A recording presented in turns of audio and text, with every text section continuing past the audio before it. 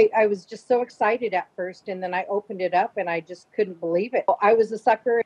With the holidays almost here, you might find yourself online shopping, but how do you know what you see online is actually what you're going to get? Oh, one scam out there is hurting a Bonita Springs artist. Thieves are using pictures of these sea glass trees that she makes for their own fake postings. NBC2's Jessica Babb talked with the artist, showing us what people are ending up with after getting scammed.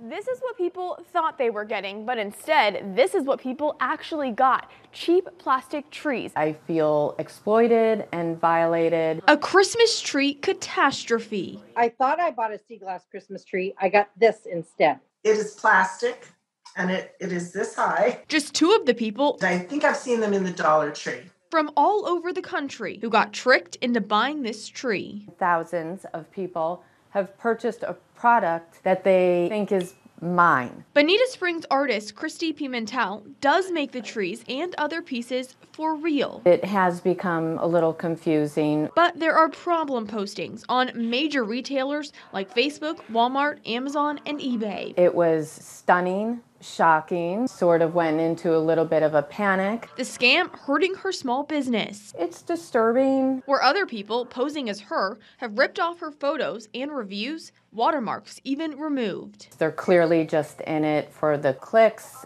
and to rip people off of a quick dollar. Just by scrolling, you can see dozens of fake listings at a fraction of the price. I was a sucker. This was $27.58 for this cheap piece of plastic. I've contacted every platform. And so far, no luck. Clearly not. Even though Amazon, Walmart, and eBay now say they're investigating. With the internet as it is, there's very little that you can do.